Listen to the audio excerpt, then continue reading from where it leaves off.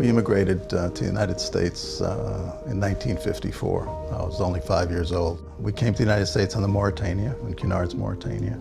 Our first home was in Manhattan. As a kid, I was going to a day school in, in the Jersey side over the George Washington Bridge, so I was on that West Side Highway seeing all those amazing ocean liners every day and uh, remember being fascinated by them, but never knowing that I would wind up in, very much involved in the industry.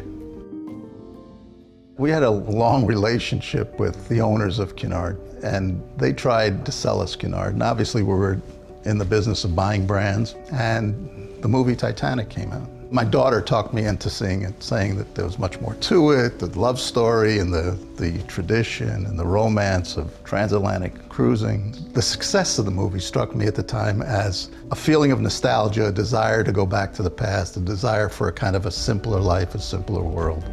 And that's when we kind of got together and, and said, let's see if we can build another transatlantic liner. Now to do that, we had to buy Cunard. So most people think we bought Cunard and then we built Queen Mary. The reality is we needed Cunard if we wanted to build a transatlantic liner. Queen Mary was kind of the concept that, that we were heading toward. People who wanted to experience that feeling that their parents or grandparents or great grandparents did the nostalgia of going back to that kind of simpler time that, um, that we needed to build a new ship. And it was a very, very challenging project because no one had built a, a liner in many, many decades. She can handle virtually any kind of weather conditions in a comfortable way where you can enjoy sailing even in, in very rough weather. Uh, and she was built that way. I mean, she's really a powerful ship and a very, very special ship. When we decided what, what is the Cunard brand, it's many things, but the one thing it, it, for sure we wanted it to be was the brand of the Queens. And that's why we set out to build Queen Victoria, Queen Elizabeth, and Queen Mary. After uh, the major remastering project was announced, I talked to my wife and said, you know, it'll be great to see how they've redone the ship and how it came out and, and how it works uh, on a transatlantic voyage. And so we finally did it.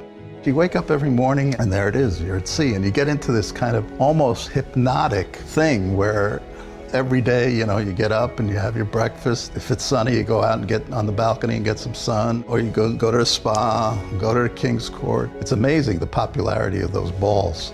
You know, the ballroom is always full and people dancing to big band. It really is very much nostalgic, but with that large ship capability, with incredible service and an incredible brand ambiance that's unique to Cunard. It's not really a cruise brand, it's a, it's a voyage.